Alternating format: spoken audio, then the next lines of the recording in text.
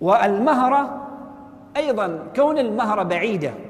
وأيضا هذه محتاجين أن نقف عندها. هل المهرة القبائل المهرية التي هي اليوم تتمركز في الجنوب هل فعلا كانوا في الجنوب فقط؟ يعني كانوا في ظفار؟ الحقيقة لا. فالمهرة كان لها امتداد إلى دواخل عمان. طبعا من يقرأ عن تاريخ عمان أو الجغرافية العمانية يجد بأن هناك فجوة أو منطقة شاسعة تمتد من الأراضي الشرقية أو الشرق حتى تصل إلى ظفار وهذه الصحراء القاحلة الملأى بالسباع والهوام. من يقرأ كتب الجغرافيين إدريسي وابن حوقل وغيره يصفوها هذه المنطقة ويقولون بأنها كثيرة الهوام والسباع.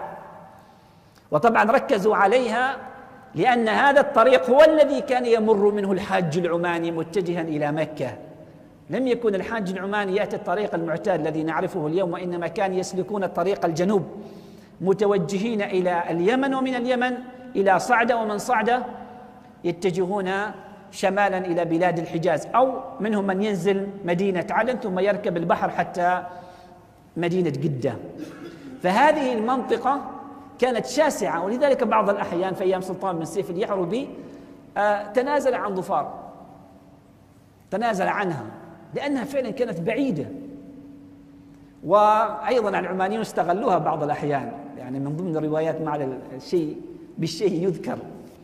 من ضمن الذين غزوا عمان في عهد في القرن الرابع الهجري تقريبا رجل من هرمز أو من مملكه هرمز. فغزا عمان ونزل في قلهات واستولى عليها ثم جاء ليستولي على الجنوب.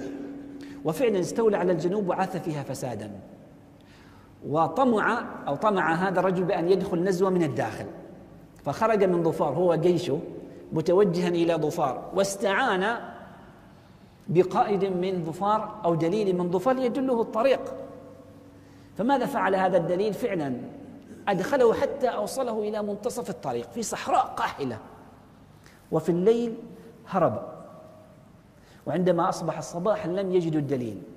فتاه الجيش في الصحراء وقيل أن مات أكثر الجيش عطشا وجوعا.